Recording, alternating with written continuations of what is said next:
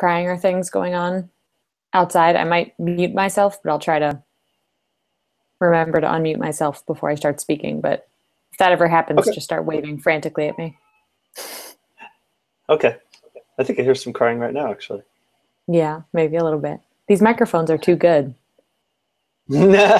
you know? It's powerful technology these days. It is. Well, now we have all these, uh, we make all these Skype calls and Google Hangouts with these, like, we all have the buds hanging off of our heads. I feel like it's a new accessory. Yeah, it's true. It's funny looking just- at a, a wall of calls and seeing all the, I, I've I've debated for a long time. You know, I feel like Bluetooth headsets got a bad rap. Have we talked about this? no, Um, because they're actually really useful. You know, Yeah. like instead of having these dangly cables, you just have a little thing here and you can talk. And but the problem is that the first people to use them were the kinds of people who were not the people that other people wanted to emulate yeah, so you know it was like it, it, it got it got it got off to the wrong foot you know the initial crowd was just not the crowd that we wanted it to be it was uh, all, and- all salesmen all the time. right the sales Mhm. guys ruined it for the rest of us because bluetooth headsets are actually quite useful and you know you could you could still i feel like you could try to reclaim it you know like i i i, I I'm, I'm debating whether to try to go there is what i'm trying to say True that. hmm All right. I'm going to post on Twitter again. We are live. Oh, yeah, I can see your face on there now. That's great. Oh, yeah. Yeah. But how do we know when people are calling in? Is there a way to uh You know, it's a great question. hopefully it's not just you and I talking to one another and waiting How around. hilarious. There are thousands of people just waiting for us. That would suck. Uh, that's actually maybe what's happening. At which point, um, this is gold. So, hello, hello, people out there. Hello world. Yeah, that would be great. That would be really something. Uh, why don't we message some of the folks that we are expecting to join and Yeah. see if they're wondering what's going on? I can invite people to the broadcast, which maybe is what I need to do. Yeah, Um, I think we should do that. okay, if you're watching out there and we are looking like fools, email me at tony at nwc.co or tweet me at tonybgood. And we'll try to figure out how to add you. That's right. This is going to be great. Yeah. I'm inviting a couple of folks that I know are RSVP'd Okay. and whom I know are humans. Okay. Am I able to add? I wonder if I can invite people. Ah, I can. Just invite people that you know, I'm doing it, you know, I think. anyone, anyone at all. All right.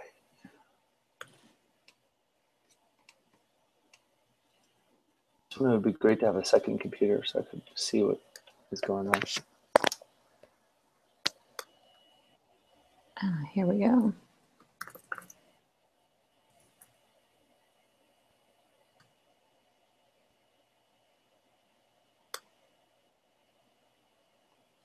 I'm gonna, I'm also going to add a few people who have RSVP'd.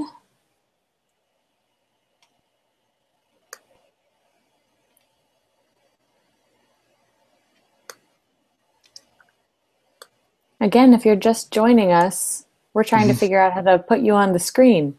So you can send either Tony or I a message, and we'll be sure to uh, get you on the list here and get you added. Oh, Danny is here. Hi, Danny. I know you're watching. We'll try to get you on screen.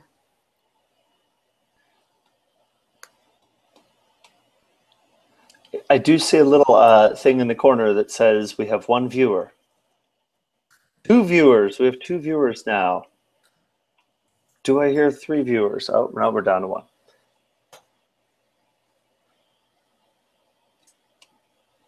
Whoever you are, viewer, if you, I don't know if you can see the chat. We just started a chat feature in the sidebar there.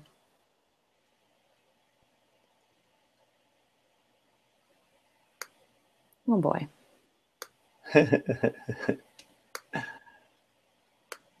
Technology. Technology is so fun.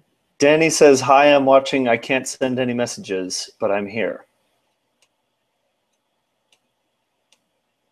He just emailed that to us. Thank you, Danny. Uh, okay, cool. I just invited you, Danny, to be a part of our hangout. So if you see my invitation and would like to join, then click the link and we'll get you on here. We're hoping to get the faces uh, of some of the folks that we're talking to um, so that this isn't just me and Susan talking to you, but uh, us all talking to each other. So uh, if you're out there, if you are watching uh, and you would like to be a part of the call, please email me, T-O-N-Y at nwc.co, and we will get you on the call.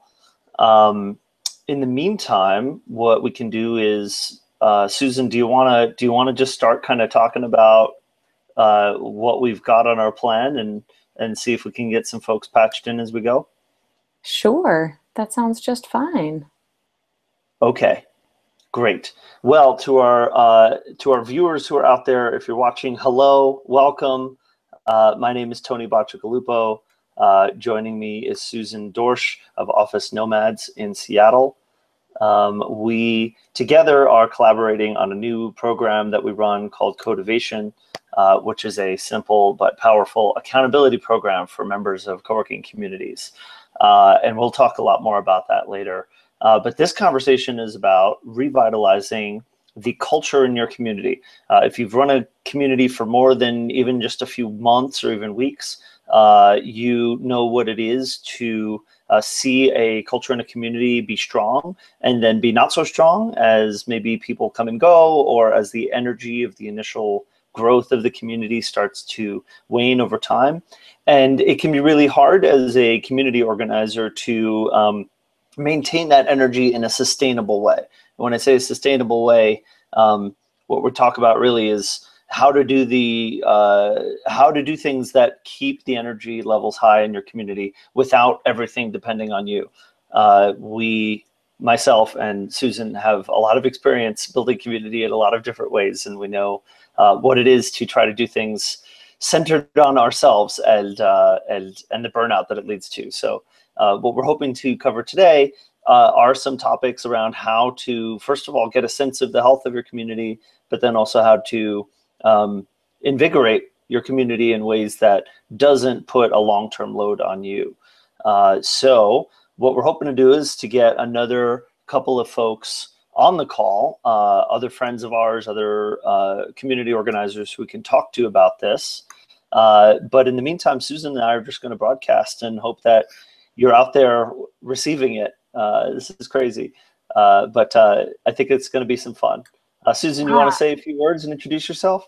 I sure can. Well, and also I just see we got a message from Jesus that he's watching and trying to figure out how to interact. Jesus, we're trying to figure out how to get to you as well. Um, I'm not sure, Tony, did you send Jesus a uh, I sure did. An invitation. Um, so if you're watching, you should have gotten an invitation to join us on screen here. Um, we're going to do our darndest to get you up here. Um, and in the meantime, in those public comments, if you want to um, send us questions or uh, ideas or anything like that, in the meantime, before we can get you on screen, that's a great way for us to be able to find you and talk to you.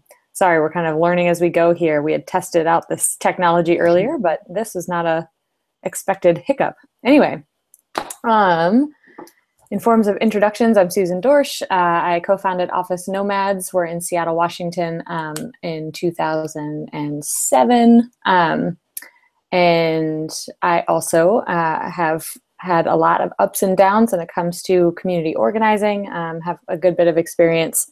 Um, and it's kind of come together in this most recent iteration working with Tony, um, launching our Cotivation program, which is one of many tools that have been successful for me in the past in, in helping revitalize and, and sort of reinfuse um, office nomads with a little shot of culture. So um, yeah, I'm just really excited to be here. I'm really excited for this sort of next phase, um, what, which is what it feels like for me in the world of co-working. I feel like for many years it was a lot of us trying to get spaces and communities up and running and figuring out all the um, all the little hiccups along the way and, and learning a lot of things. And this next phase really feels like sort of the, the, the next level of that, which is really honing in even more than we did before on, on community building, community outreach, and specifically how to make sure that our communities survive and thrive without being wholly reliant on the one or two people who maybe got things started at the beginning. Um, seen a lot of co-working spaces struggle when they uh, realize that they're wholly dependent on one uh, co-founder, on one community manager, on one person, kind of keeping things going. And um, that has definitely been a recipe for watching um, some co-working spaces struggle. Um, so anyway, uh, we're really excited to talk to you about that and to hear your questions. Um, I think we've got Jesus joining us, which I'm really excited about. We've figured out how to get another person on screen. That's right. We've also got uh, Katie joining us. I just got a message from Katie who uh, uh, was has been watching, and now we are connected, and now I've invited her to join the call. So hopefully we can get her online as well. Um, so just as we sort of start to get these folks online, one of the things I wanted to add uh, for those of you who uh, might not know Susan and I uh, that well, um, we are both folks who founded or co-founded co-working spaces back in uh, 2007, 2008. Uh, and uh, basically have been, uh, you know, running co-working spaces for a long time. I actually just closed up my space in New York uh, just over a month ago. Um, but we've both had a lot of experience sort of building a co-working space, being really eyeball deep in it, but then also having to figure out how to step away from it. Uh, and over the course of time, you know, you can't necessarily always be the person who's always there. And so um, it's something that is relevant uh, to us currently. Susan uh, is, you know, figuring out how to uh, manage her community in a way without it relying on her being there uh, all the time. And uh, you know, that's something that uh, I had to learn as well over the course of the last few years at New Work City. so. Um, what we're hoping is uh, we can get a couple of uh, you guys on board and we can find out more about the communities that you're building and your questions and needs. But in the meantime, I think we're going to start just kind of running through some of the things we wanted to talk about. Susan. You want me to get started? Why don't you kick us off? Okay. Um, I would say with a two things happened to us right um, at an inflection point for Office Nomads, which was at a time when we um, expanded. Oh, hey, Danny. Hey, yo.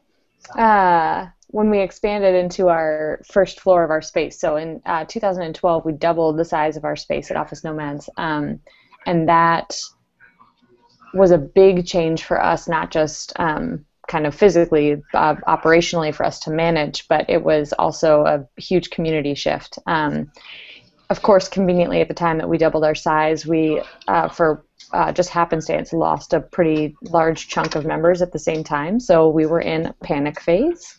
Um, and we did two, we, well, we did a lot of things, but two things that were really successful in that experience um, that I thought are worth sharing for those of you who are out there um, trying to build a space or get a community started. Um, and the the first one was we started a program that we call the Community Cultivator Program at Office Nomads. Um, lots of other spaces do similar things, um, calling them like uh, working membership programs, things like that.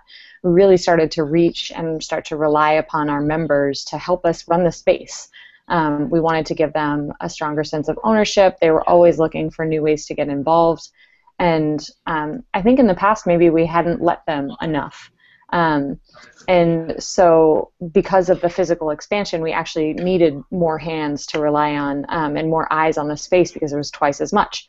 Um, and so, we started with a group of five members um, that we did a trade for membership with that really just helped sit with us um, at the front of our co-working space and help us get things going, help um, take members on tour, new potential members on tours, um, answer the phone, run little programs throughout the space, anything that they really wanted to do that helped them feel like they were cultivating the community at Office Nomads. Um, and that program was really successful. It took us a little while to get started. I'm really happy to um, uh, answer questions about how to get that up and running. Um, but that was was and has been really successful and a, and a critical component for us at Office Nomads. Um, uh, a, a, saying that we tend to rely on a lot within our space is that people support what they help to create, um, and it had taken us a little while to um, figure out even more ways to put that mantra into practice. Um, and this was one really significant way.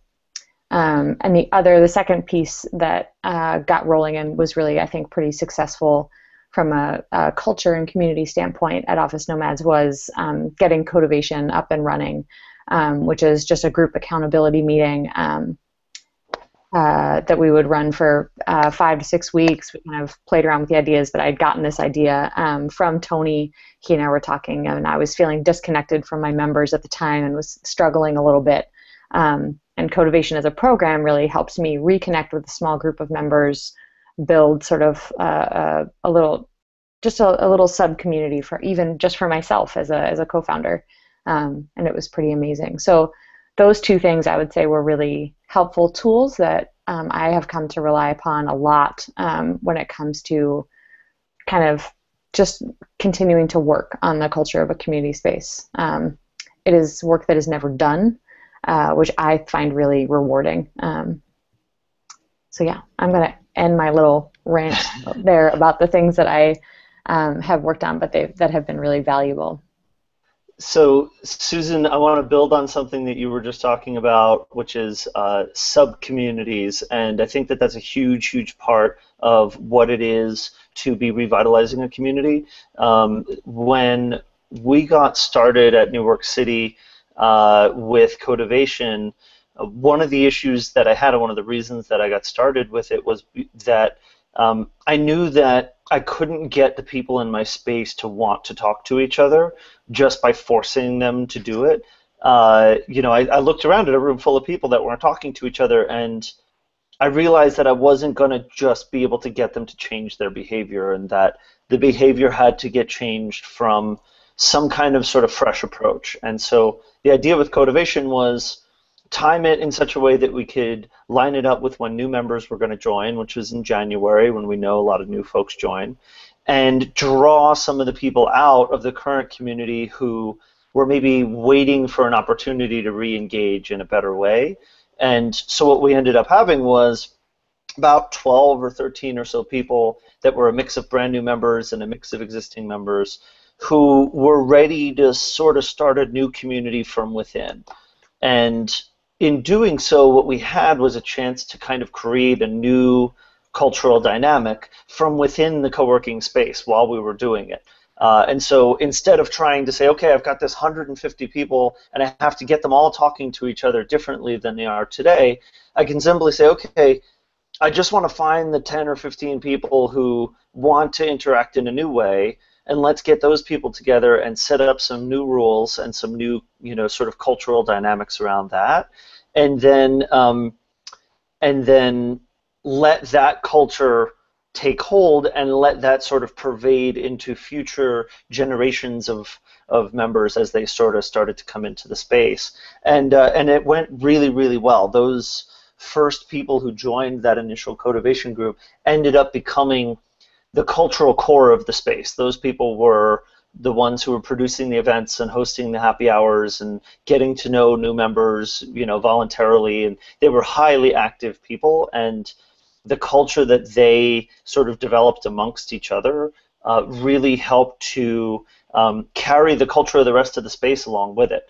And so we ended up kind of reinventing the culture of our community from within uh, just by starting with a small group of people who were up for it. Uh, and that's really what it came down to, and where we found so much value in that. Um, now, you know, Susan and I produce this new program, uh, you know, where we're where we're teaching other people how to do cotivation groups, and so you know, we offer training, we offer procedures. Uh, Susan actually took this idea that I had and and made an actual robust program around it. So we now have an actual guide for you know how people can set this up. So part of why we're doing this is to make people more aware of you know what we have to offer, so that if you guys want to um, start a Cotivation group or something similar to it, then you could talk to us about that and maybe join our training program in August. Uh, but we're not just here to sell you on that. Part of what we want to uh, share in this conversation is how you can approach reinvigorating your community from within. And so if you can look at this basic model of taking a community you have and then rebuilding a new community from within using whatever approach that works for you, um, you might be able to find a great way to sort of um, reinvigorate things and, and end up in a stronger place. And so uh, that's sort of what the, the general overview is of that. Uh, and we've got a few other things we want to dive into, but uh, Susan, do you think maybe we could try to patch in one of our callers and and uh, and see if we can learn a little bit about uh, who we have on the line? Oh, you're still on mute. Oh, sorry. I would love that. okay. Danny, I see that you've got your you you look like you're coming through great on video. I'm wondering if maybe would you be up for talking to us a little bit about uh, your situation right now and uh, and maybe tell us a little bit about why you're on the call. Hey, uh, Tony, the, can you hear me okay? You can, great. Um, so I do apologize. It, the, both of you um, said a few things and I lost the, the chat a couple times. Um, but what I did, one of the, the bigger things that I caught was just that um, you had been talking about um, trying to get your community so that all the members are not relying on you or one of uh, one of the, the people who work at the co-working space um, to kind of develop the community.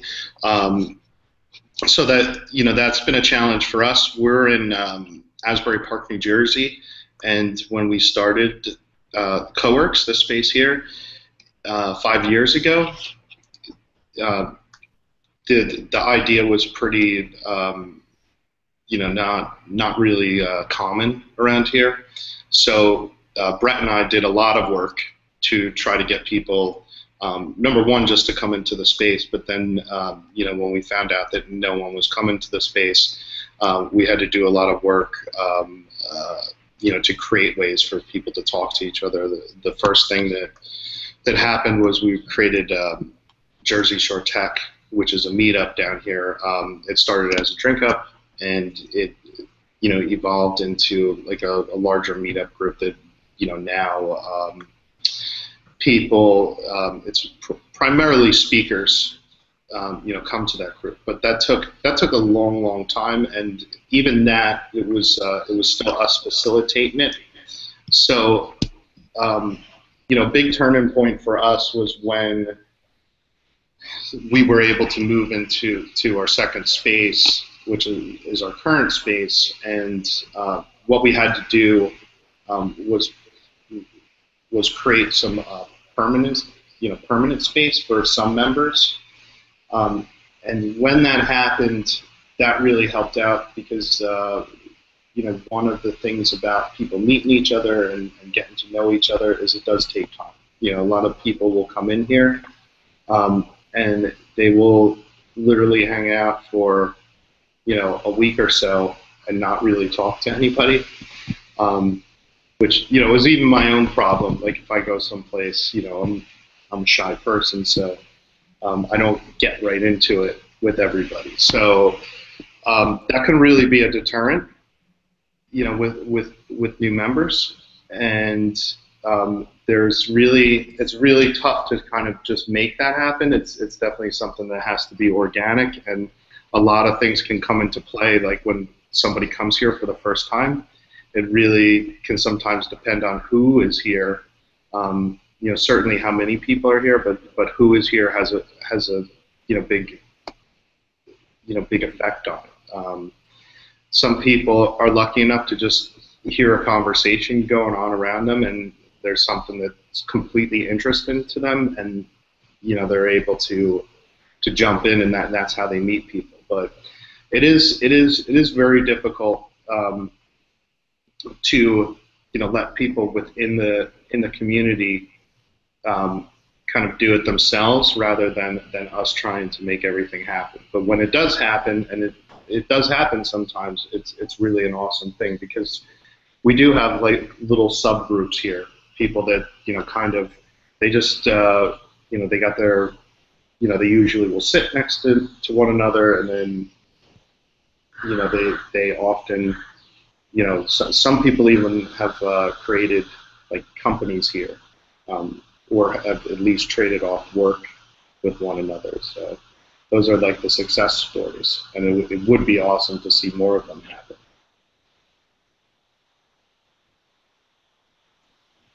Oh, Tony, I think I had you're to muted. mute myself. Yeah, uh, Danny, do you have a sense of what the uh, with the biggest success stories? What it was that allowed for those success stories to happen? I mean, it sounded like there was obviously some serendipity so just some coincidental sort of people getting to know each other in the space. Do you have a sense of there being any um, anything you could draw from that that could really be sort of you know reproduced or designed for? So, so here, um, our right now our space is is kind of developer heavy. I'd say like half the people who are here are you know all fit into that category where they're you know they're they're doing um, software development work, and a lot of a lot of people here are doing client work. So it's not so much that um, developers are working on their own startups. A lot of them are, um, you know, working on stuff for other clients. So the, the the best stories are are when people actually need help on a project. Um, you know, there's an example. There was there was something that was built for a client. Um, it failed, but it was it was called uh, Crumble Me, which was kind of like kind of like a Snapchat uh, type app. And uh, three of the guys here, uh, you know, one guy got the job and realized that it was way too big for him, and you know he ended up um, hiring out, you know, within the within the co-working space. So three guys all worked on the job together. Um, and you know situations like that where people are getting paid to do the work um, and you know they like people have found something to work on together like you know over months like really creates a bond there so so that type of thing that's like the biggest version of it but that type of thing seems to happen a lot where people who are doing development work um, you know find that they, they'll need some somebody else to actually uh, help them with it. And they usually, um, you know, because there are a lot of people doing development work, they usually will hire uh, somebody within this space.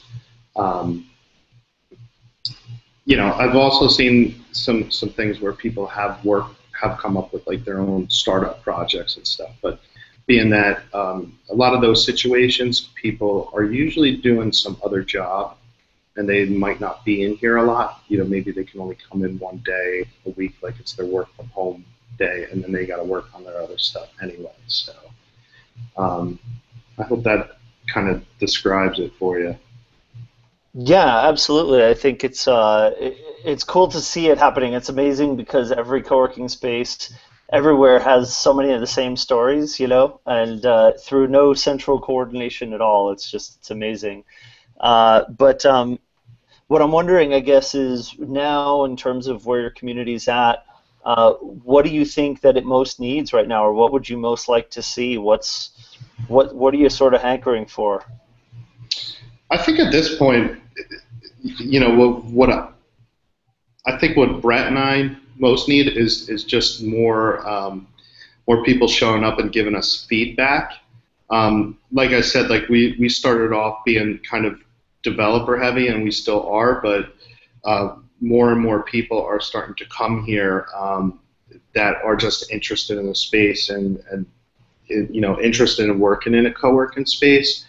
Um, so it's really tough to catch, you know, what's going on, like you know what what somebody thinks of the space. Um, you know, they may not talk to anybody else about it. Um, so as far as like you know the hope that other small like you know little sub communities like build inside of the community I think that that you know that's just having the conversation, having you know some type of dialogue that's not so much like, hey, can we all have a you know a meeting and like talk about these things? Like you know, just having people people like really use um, the space and and use the concept. Um, you know, is a big thing. Um, and like I said, it, it is tough because you know we get people coming in, and then you know they might come here for a little while. They don't don't necessarily find what they were looking for, and they they bolt. You know. Sure. Yeah, Danny, that sounds really common for sure. Um, I think amongst a lot of co-working spaces. One, just to I don't know, give you some ideas. Like one, um, one thing we try to tell all of our members at Office Nomads and kind of communicate that is not their responsibility necessarily, but as an invitation for them as members, as we sort of say, you know, if somebody comes in and it's their first day and they've never been here, and they kind of come in, put on their headphones, put their head down, get to work, and then leave, and nobody has actually said anything to them all day, like we've missed a really great opportunity because they probably came here for many reasons, but one of which is to be around and kind of be around other people. Um, and so we, I, I, think that it's important to not take that um, that issue as just your own, you know, as the co-working space operator and the owner, but is to say, hey, if this is a thing that we're all doing together as a group, even if we have sub communities and sort of, you know, kind of smaller clusters of of culture throughout the space, it's really important that we all kind of feel a little bit of obligation to making sure that people don't totally slip in under the radar and have just no contact with another person. Um, and a, a, another sort of element of that, though, is that you know, like you said, like you might go into a space and do that maybe on the first day because you're a little shy. I, I might do, well, no, that's not true. I think I'm, I'm kind of a chatter. But um, you know, I, I, there are some people that it takes some time. You said maybe a week. Like we've had some members sit quietly for almost you know three or four months before they really kind of come out and are and are more comfortable um, with talking with other people. Um, so also seating several places, just opportunities and invitations. So lots of co-working spaces will um, you know offer or invite their new members be like hey introduce yourself on our you know, on our uh, member email list if that's something that you might like to do. You never know. There's probably somebody else in here who you might have a connection with that you didn't realize. Um, or um, another uh, tool that we've used now in our spaces um, as a part of sort of our new member operations uh, stuff is that we'll have a new member come in and when they sign up as a new member, then we do a, a just a short kind of conversation with them to ask them what they're what they're up to, what brought them here, what they're interested in. So it's not just about work. You know, it's like, well, mm-hmm. you know, what what are you into? Like, what do you like? Um, mm-hmm. Is one of our questions that we ask. Um, and that can be another, just another little opportunity. Not, no one person is going to have all of those things work really well for, but if you can give them, you know, four or five different places where they might be able to jump in where they feel good, then you're more likely to have those people come back. Because um, yeah. again, if they just show up and head down and then they walk out again, they're going to be like, "Well, I could do that at a coffee shop." Mm-hmm. You know, um, and not that people are necessarily comparing that experience, but it definitely makes a difference when somebody even just says hi to them in the kitchen, and that's something that you know members. That's where you get to empower your members is to be like, "Hey, if you're getting coffee at the same time as this other person who you don't know and you've been around for a while, say hello." That's yeah. pretty easy. Like it's so easy. Yeah. We had one member get frustrated after several years. She was like, you know, I just feel like I don't know anyone in the space anymore. And another member turned to her and was like, well, when was the last time you introduced yourself to anybody? Um, and so just a, a reminder to members to do that can be really empowering. And again, it's it's their job too, not just yours. Hey folks, can you hear me? Yeah. Oh. Yeah. Hey, it's Jesus. hey. um, I know Tony, I know Tony for a while. Um, so I just wanted to chime in. You know, I think that one of the, um, you know, I was a member at uh, uh, New Work City. Um, but the place was uh, absolutely great. Um, I took an, an I took advantage of uh, an opportunity that presented itself, so I had to leave. Um, but I always figured that it was the kind of place that I would, you know, eventually wind up at um, sometime in the future, right? In fact, I remember uh, Tony had a ceremony where he handed out keys to people who had uh, partic- been uh, members for, for quite a while and participated in um, lots of activities there. Um, and I had held on to my keys, and um, after after having left for about two months, I was like, you know, I got to give these keys back. And I approached uh, Peter. He said, um, he said, why don't you just hold on to it? Right? So in the back of my head, I mean, I must think of it like at least once a week. You know, I'm like, I got those keys. I'm gonna go back there. You know, um, get a little bit out of corporate America. But anyway, um, I think that one of the biggest challenges is that um, you that you we can experience what's what I consider like the commuter college experience, right? People mm-hmm. go in, they do their stuff, and they leave, right? As opposed to like a campus where you have a real, you know, campus life, right? So you know, and I think that that's a that's a real challenge. I don't claim to have the answer, but um, I think that that's you know one of the identifiable challenges. Right? One of the things that I think um, we could do is uh, is to take advantage of downtime. Now, you know, um, there's a lot of efficiency in in people who are co-working, so downtime is used for getting more work done, right? But um, if somehow they can be motivated to to you know maybe maybe you get a pizza and you you know instead of eight slices you make it 64 slices or whatever mm-hmm. just so mm-hmm. that people gather around some table and you know have finger food and have an opportunity to talk and the, the requirement is that you can't eat it at the table in fact i remember um, that requirement coming up several times at uh, at New Work City that if we'd have lunch it was like yeah, but you guys have to eat over there in the public space, right? And I, mm-hmm. I always thought that that was kind of like a, a motivator towards uh, interacting. Um, but uh, but yeah, I think that maybe that's that's the key. Those are those are the key challenges, right? It's like introduce some downtime and get people to you know not use that down that downtime to go back to their desk and and kind of uh, um, isolate themselves uh, while eating pizza. Uh, but um, but get them to interact at that point. Um, and the other thing, I the one one other thing I wanted to mention was um, and um, I, I, didn't get your name, the person who spoke before, but you mentioned the fact that you're developer heavy. You know, when you when you have, I, am a developer. I work with developers today. Um, I don't. I think I probably, if I added up how much time I speak socially to someone during the day, it'd probably be like 20 minutes out of a let's say eight to nine hour day, right? Because we're in our heads and we're in our code, right? Um, it, I think when you introduce other um, other fields, right? Maybe like more creative aspects. So now you mix it up, right? It's technology, and maybe you have, you know, designers or clothing designers or artists or whatever it is. Um, I think you get a more dynamic environment, never knowing what's going to happen, things like that, and it becomes, at least for me, it become more pleasant to see, right? Uh, I think the developers tend to be uh, kind of like in their heads. So that's just another challenge that I, I see. Yeah, uh, hopefully the increased diversity in Danny's community. Uh, his name is Danny from CoWorks in New Jersey. Hey, hey uh, Jesus, you're in New Jersey too, aren't you? No. Yes, I'm in New Jersey. Yep. Cool. Well, but Danny... I'm, wor- I'm working in uh, Brooklyn right now. Okay. Well, Danny is in Asbury Park, so. Uh, yeah, I heard of the space. Yeah. yeah, Asbury Park is about 50 minutes away from me, and Asbury Park is great. And I also I've also heard of the space. I I wanted to check it out actually at one point. Um, not because I could it would work for me, but just because I was excited to see another co-working space, and in my head I imagined it to be, uh, you know, it's a cool place. You know, you're right on the beach. You got a real nice community there. The location is off that lake, right? Is that right, Danny?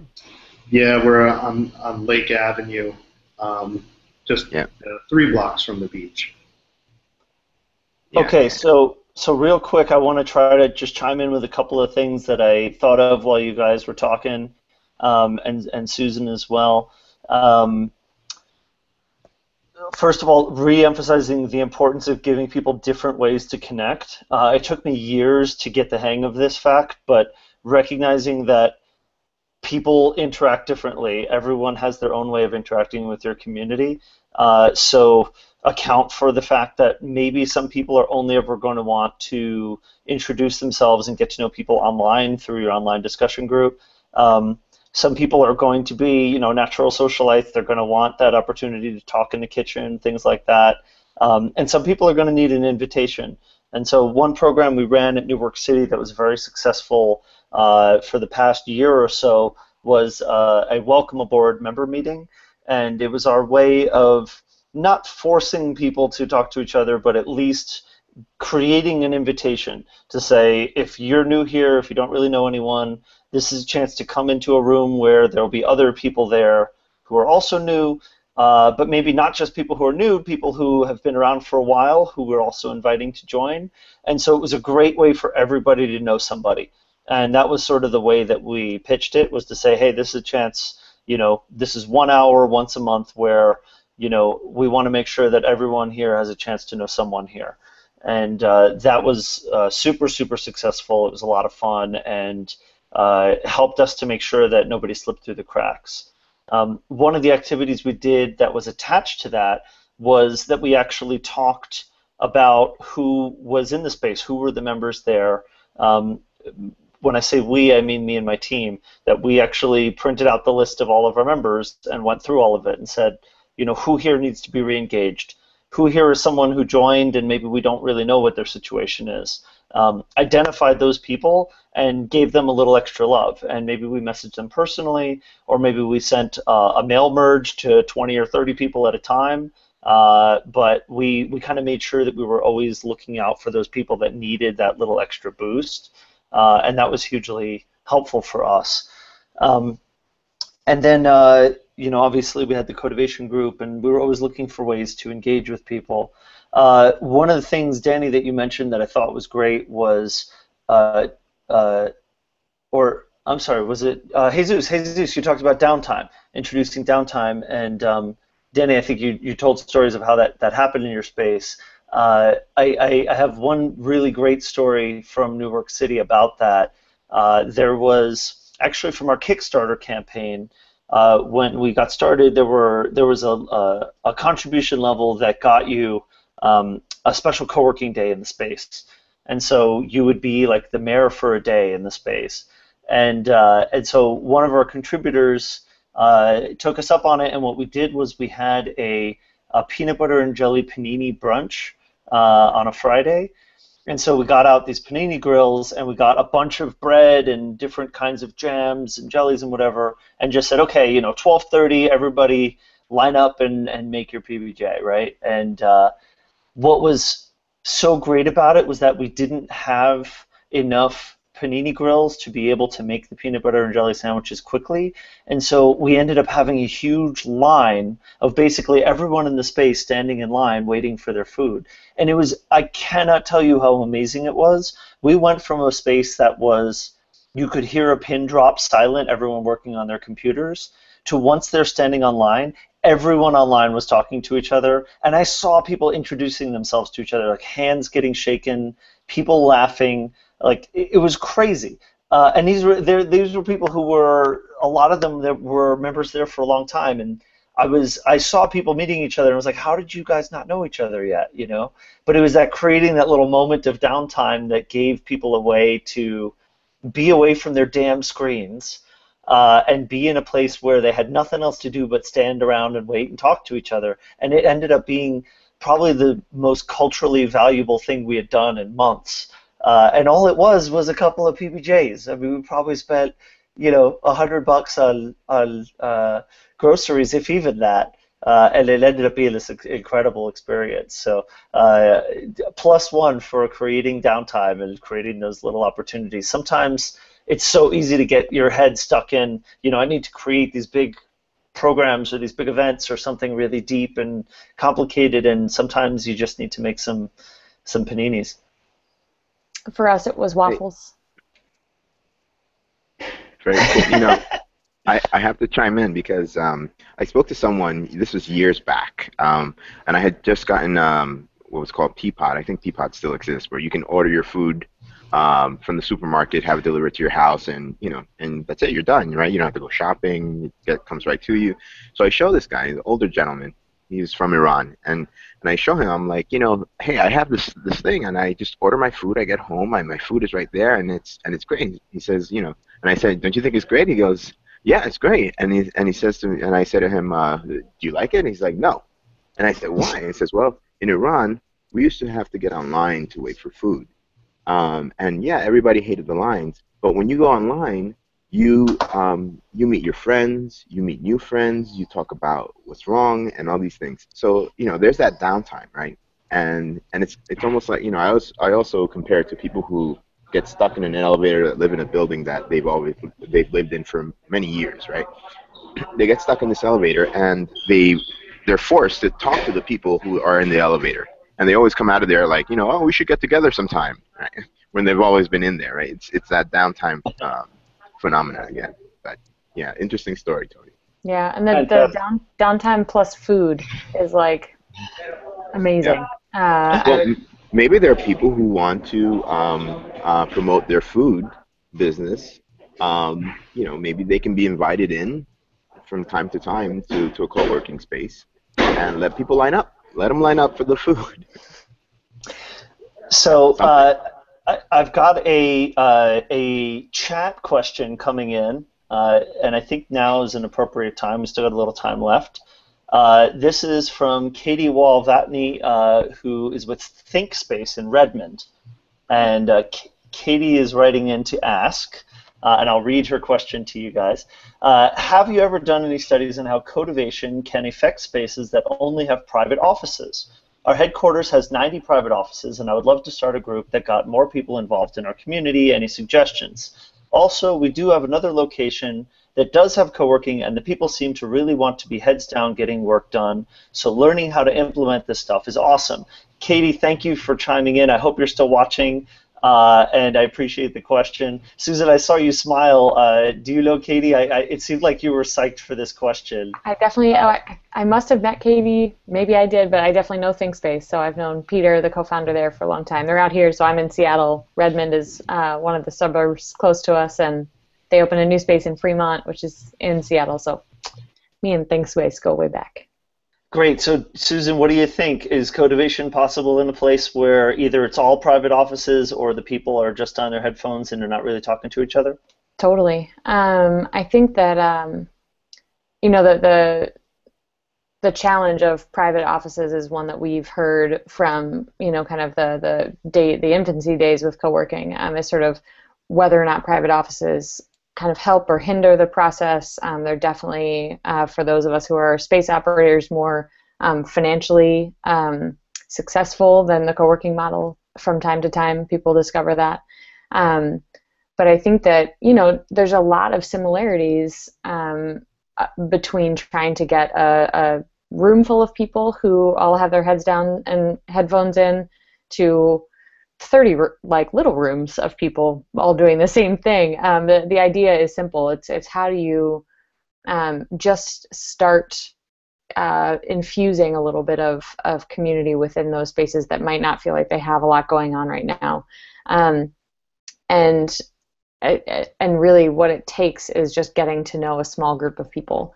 Um, from the first time I kind of tried to run Cotivation when I didn't really know what I was thinking about or talking about when we were kind of developing the program. Um, the biggest success, I would say, from that first meeting to now, we're running our 14th Cotivation series at Office Nomads right now. Um, the the biggest win of the whole thing is members saying, "Hey, it's really great that now I know eight or nine or even just three. Like I know these people now, and I know them in a in a a much more specific way than I knew them before. I know what their struggles are. I know what they're working on. Um, I know that they're trying to floss more, whatever you know, whatever it might be. Um, that it, it, creates that bond of a shared experience. I think that um, whether you have walls or not, um, I think it makes a difference um, because it means that whether you see each other in the elevator of, of your building or whether you run across one another in the kitchen, you're even more likely to say hello and catch up than you were before or to shoot one another an email and say, hey, I remember you were working on this thing. I just ran across something that you might find useful. Um, so I, I, would definitely say that Cotivation could be helpful in that way. Um, as could you know other programs. You know, Cotivation is just the one that's really worked for us. But um, there's ways that you can infuse a sense, or at least get that started a sense of community amongst a small group because um, it's a pretty intimidating thing to try and say all right now i've got you know 100 members and i want them all to be friends um, that's a much bigger challenge to try and face than hey i want seven people to get to know one another is a much simpler place to start so uh, we have a wonderful friend ray lindenberg who runs a uh, workspace, and it's really not a co-working space. It's a it's a massive suite. It's it's all suites. It's called SOS uh, and Select Office Suites, and it's all private offices. And there's very little congregation area. There's some, but there there there's not a lot. Um, but he has an incredible community. Like they have crazy parties. They uh, I've walked around with him in his space and he he knows everyone there. Uh, I feel like he must speak a few words of at least five or six different languages. So I mean, when he's just going around, he's just talking to everyone. Um, and it, it was the first time walking around with him a few years back that I found that it is possible to have a great community, even in a space that's not designed to be super social. Um, and that comes down to a few different things that you can do, right? Everything that Susan talked about. Uh, and and in particular, in, in my mind, what I see is maybe just zeroing in on a few people. Like you, as someone who works there, um, you know who's there. Maybe you don't know everyone there, but you know a lot of the people that are there, and uh, maybe you know of a few people where there's a there's there's a little bit of a pulse of, of possibility that there could be some participation, that there could be some activity there. Um, get to know them you know, and don't necessarily think in terms of everybody, but maybe if you could just have a nice conversation with one or two people at a time, um, get to know, you know, not even work related, what their story is, why they're there, what's going on in their lives, what do they care about, and look for opportunities to empower those people to use your space as a community center to help them. Um, really, if you just if you just find one person who's up for that, and they can set an example for other people, then that's going to be a huge start. You know, that maybe is a snowball that rolls down the hill and gets other people uh, out of their offices and, and sort of really talking to each other. Um, the other thing is, uh, gosh, what was the other thing? I had another thing and it was really good. Uh, um, Oh, new new generations. So I just wrote a blog post about this. New generations of people coming in. Uh, so right now you have a culture of people that aren't seeing that your space has an expectation of being social or, or connecting to the other members as being a part of what it is to be a member there. But you have a chance to change that expectation with every new member that joins. Uh, and so when a new person joins, or when a person leaves and a new person replaces them, that person is a clean slate, and how they interact with your space is something that is something that you can shape. And so, generationally, over the course of time, if you're putting effort into creating different expectations for the people who are joining later on, um, over the course of time, that culture will start to pervade as older members leave and newer members come in. Um, the new members will see the members that you have instilled with these new expectations, and their expectations will be shifted, and so on. Uh, and part of why we love Cotivation so much is that it gives us a very specific program to uh, attract people who are open to that new expectation.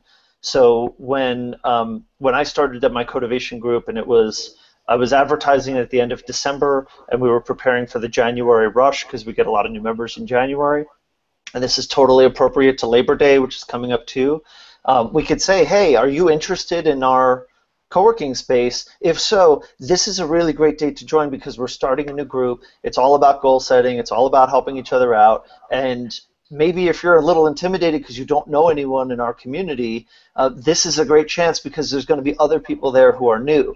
And this is going to be a chance for you to come in at a time when there are other new people and you won't necessarily feel like the only one who doesn't know everybody here. Uh, and by the way, it starts on this date. So if you're someone who could come in and join any time, this gives you a very specific date to say, okay, this is the time I should come in because I could join whenever I want, but if I come in at this time, I'm going to have this extra program that doesn't cost anything extra, and uh, you know this could really be valuable to me. And so um, again, it doesn't have to be Cotivation, but that's what Susan and I, you know, uh, did and what worked for us. And so, you know, if any of you guys who are listening out there uh, are interested, we've got the next training coming up. We've got these things. Uh, you know, we've got our organizer's guide, and so we're happy to talk to any of you about it uh, as well. And actually, I'll pop our contact information into the chat so we can talk about that. Um, I have to get our plug-in, right? Uh, so if you guys are interested in that, of course, talk to us.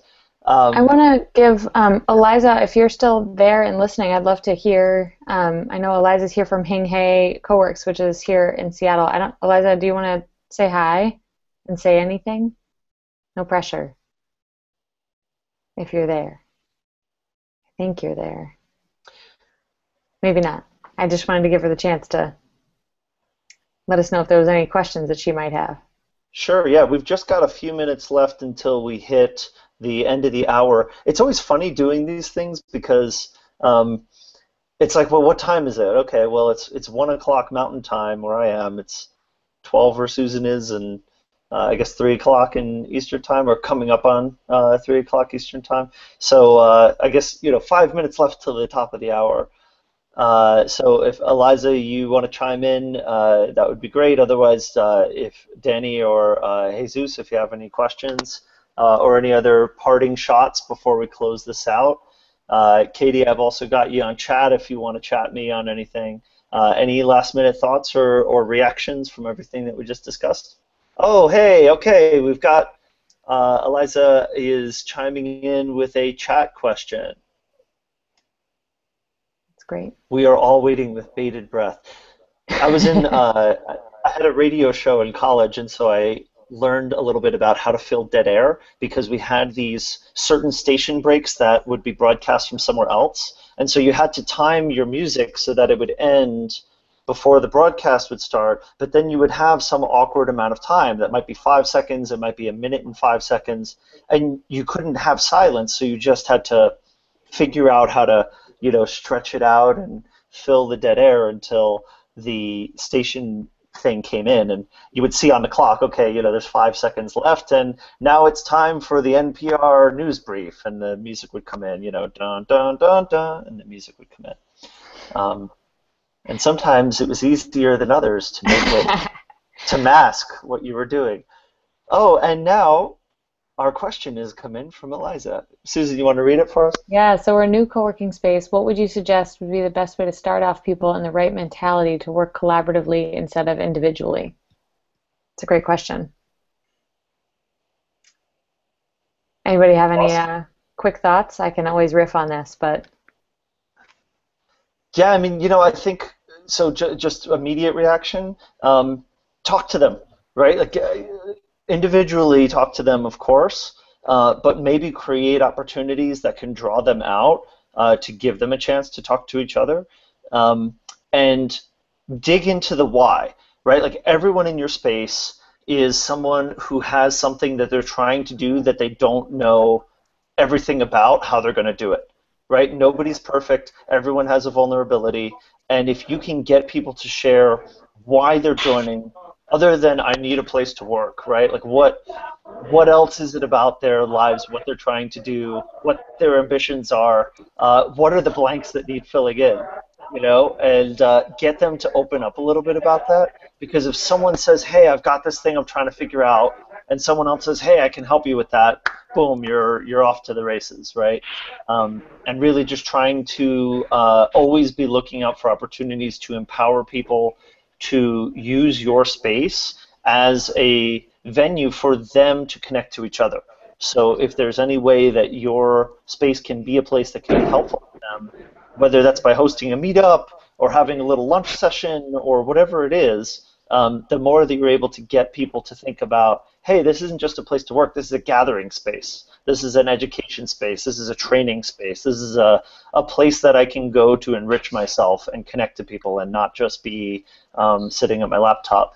Um, the more that you can sort of be doing that in the course of conversation, the better. I would also you know, add. I was gonna, uh, oh, go ahead, Jesus. Uh, no, I was going to say that um, uh, one of the things that I found out um, much later on, uh, pretty much after leaving New Work City, and you know, I was a I was a consultant, so I was working independently. Um, New Work City provided a great place for me to meet people, um, not be working in my house all the time, and so forth. But later on, I found out that a lot of the challenges that I had, other people had challenges, right? So, you know, how do you keep the pipeline of work coming?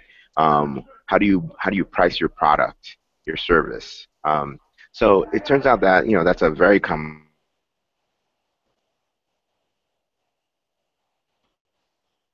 problem, and um, kind of are laid out all you know the the um, the ways to, to tackle those those questions, right? To to take on those questions, because I, I guess it can be the kind of thing that you kind of solve once, and then you have a mechanism in place, and people can you know now you're a resource besides just a um, a space, uh, you know, with uh, with the community and so forth. But you're also a, a resource. Um, I think that that would that would also be you know be a great thing, right? Like if I have a question, I'm starting up this business. Um, how do I keep this going? Oh my God, I got to do taxes. Uh, you know, all these things. Those would be nice things to to kind of have a, a place to, to go for the answers. Yeah, I think that there's um, there's ways to work around it, both from a programmatic side, but also just from an opportunity side, like you're talking about, Jesus. I feel like you know having a member uh, email list or a way for members to be in touch with one another even if they're not in the space, is important that they have a, a portal through which they can reach out and ask for help, um, and are encouraged to do that. So you can you can also lead with that if there's something that you're having issues with. We've definitely done that at Office Nomads when we're setting up our you know we've got our own business as well. It's like hey.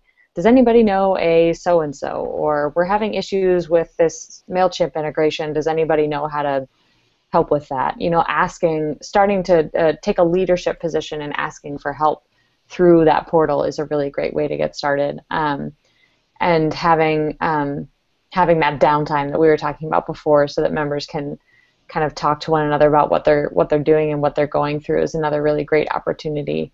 Um, and then from a programmatic side, um, there's obviously opportunities like like Cotivation, but um, we've had little fun events. I remember actually this is another one that we riffed off of Tony many years ago. Was doing like beers and bookkeeping, right? Yeah. Like all of the all of the people who are working in the space need to kind of keep up books in one shape or another, whether they're their own personal books or it's the business that they're working on. Um, you know, doing little events like that, um, getting ready for tax season, um, having a marketing hour, um, you know, whatever that is, just giving people a little seed that they can um, gather around because you know, they could all be software developers, right? You could have a, what you think is a homogenous sort of group of people, but um, you know, they're all going to have different different issues that they're tackling, and, and there is sort of diversity within that that I think is important to address. Um, but yeah, another another recommendation would be to kind of continue to cultivate a diverse co-working environment, um, because then you have even more opportunities to ask for help in a, in a million different ways whether that's you know what neighborhood should i move to what you know developing language should i you know write my new program in or whatever. Um, that there's if there's somebody out there who can provide an answer your community is going to feel that much stronger. Um, that's the all of my quick riffs on that question. I would i would say so i also feel like this is so so so important not just in the co-working world but in general. Um, treating people like human beings. Um, I, I, I can't say it enough. I feel like I have to constantly remind myself of it enough, uh, often. But um, we get so easily into this mentality that we are business contacts and this is a business experience and we're you know you're my customer i'm your you know provider and and this is a business arrangement and the more that you can make it just not even thinking about the business side and just say, hey, we're people, right? We all have hopes and dreams. We all have to pay our damn taxes. We all don't understand how the healthcare system works. Like, we all have to eat. We all like beer, or we don't like beer. We're trying to be healthier. You know, like these are things that are universal human things. And, you know, you might have a person, and this is getting back to uh, the conversation we were having um, earlier when we were talking about Katie and, and her, the people that don't really talk to each other, you know, and every person has something that if you get them going, they will talk all day about it, right? And it could be like model model boats or something, right? Or or or their dog or whatever it is. But like everyone has something that they, if you can tap into it, they care so much about that they will that they'll connect on it, right? And and they'll ask you about what you care about, you know, and um, and the more that you're able to find those ways to connect with people as human beings and not as customers, uh, not as members, but just hey, we're two human beings, and so you know those people are human beings too, and let's be humans together. Um, the more real your community is going to be, and the less forced a lot of this stuff is going to be as well. Because ultimately you know if you if people start to recognize hey we're people and we're people together and we're bonded around that fact uh, then a lot of hard things start to get easier.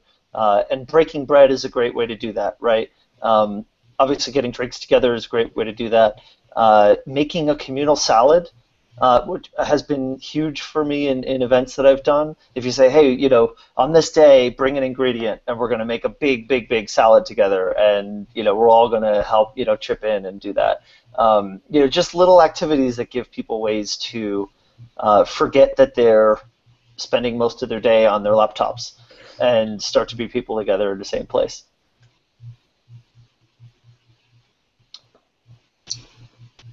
Cool. cool. Okay. All right. So we're at uh, five minutes after the hour. Uh, any other parting shots? Any other questions? Was this fun? What, how how was this for everybody? Was this good? Show me some thumbs up for those of us on video. Yeah. Awesome. Jesus, great. Awesome. It. Uh, great. Well, Susan and I uh, uh, were really excited to do this call. Uh, it's the first thing we've done that's that's like this. Uh, maybe we'll do another one in the not too distant future. Uh, but in the meantime, we're going to gear up for our next round of training for Cotivation, uh, which is at the end of this month. So if any of y'all are interested, talk to us about that. Uh, but really, uh, we're happy to talk about community building in general. So please uh, don't be shy. Reach out to us if you're interested. and um, thanks so much for joining us. We really didn't know who was going to show up, if anyone was going to show up, if it was going to work, how it was going to work, and and we really pulled it together. I think this was a fun conversation. Uh, so yeah. thanks so much for joining. Thanks. It's been really fun. It's nice to see your faces too. Yeah. yeah. Had a good time, guys. Nice to see you too. Thanks. All right. All right, you guys. Take care, guys. Thanks Take so care. much. And uh, again, if you want to reach out to us, uh, Tony at nwc.co. That's Susan uh, at cotivation.co. Uh, and um, we'll be here for you. So hit us up. And uh, good luck right. building your communities. Continue being humans. All right. okay, folks. Take care. Bye, Bye-bye. Bye.